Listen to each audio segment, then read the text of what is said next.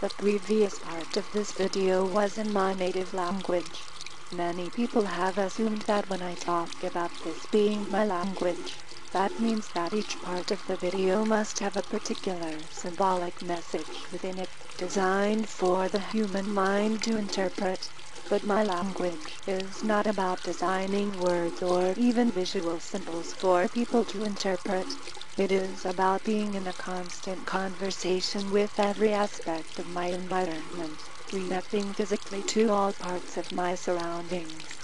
In this part of the video, the water doesn't symbolize anything.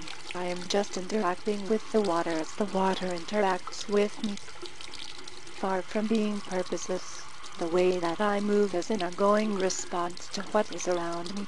Ironically, the way that I move when responding to everything around me is described as being in a world of my own, whereas if I interact with a much more limited set of responses and only react to a much more limited part of my surroundings, people claim that I am opening up to true interaction with the world.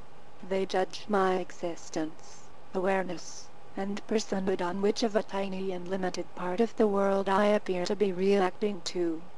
The way I naturally think and respond to things looks and feels so different from standard concepts or even visualization that some people do not consider it thought at all, but it is a way of thinking in its own right.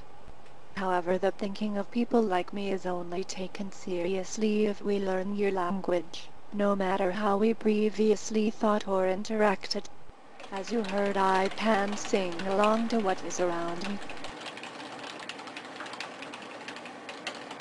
It is only when I type something in your language that you refer to me as having communication. I smell things. I listen to things.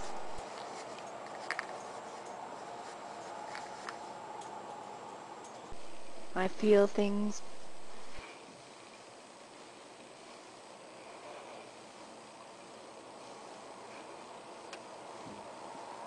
I taste things.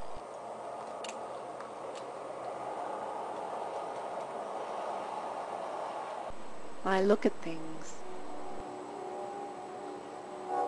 It is not enough to look and listen and taste and smell and feel, I have to do those to the right things, such as look at books, and fail to do them to the wrong things, or else people doubt that I am a thinking being, and since their definition of thought defines their definition of personhood so ridiculously much, they doubt that I am a real person as well.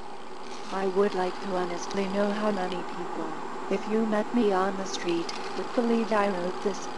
I find it very interesting by the way that failure to learn your language is seen as a deficit, but failure to learn my language is seen as so natural that people like me are officially described as mysterious and puzzling rather than anyone admitting that it is themselves who are confused, not autistic people or other cognitively disabled people who are inherently confusing. We are even viewed as non-communicative if we don't speak the standard language, but other people are not considered non-communicative if they are so oblivious to our own languages as to believe they don't exist. In the end I want you to know that this has not been intended as a voyeuristic freak show where you get to look at the bizarre workings of the autistic mind.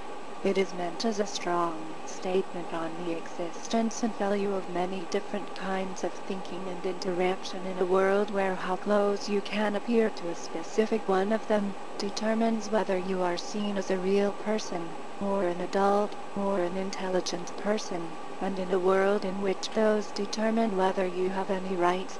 There are people being tortured, people dying, because they are considered non-persons, because their kind of thought is so unusual as to not be considered thought at all. Only when the many shapes of personhood are recognized will justice and human rights be possible.